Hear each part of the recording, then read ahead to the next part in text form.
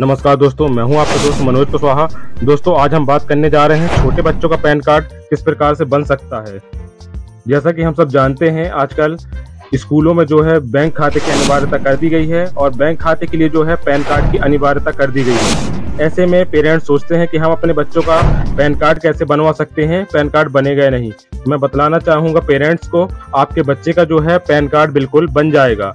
इसके लिए जो है आपको बच्चे की दो पासपोर्ट साइज़ की फ़ोटो लगेगी और जो है बच्चे के माता या फिर पिता का आधार कार्ड लगेगा और बच्चे का आधार कार्ड भी साथ में लगने वाला है। इतने डॉक्यूमेंट लेके आपको किसी भी ऑनलाइन साइबर कैफ़े में जाना है, वहाँ आपको बताना है कि हमें अपने बच्चे का पैन कार्ड बनवाना है। तो ऑनलाइन साइबर कैफ़े वाले के द्वारा जो है आपके बच्चे के पैन कार्ड के लिए अप्लाई कर दिया जाएगा। यह PAN card minor PAN card होगा, इसमें आपके बच्चे का फ़ोटो नहीं आएगा। जिसे आपको 18 साल की उम्र होने के बाद फिर से अपडेट कराना पड़ेगा।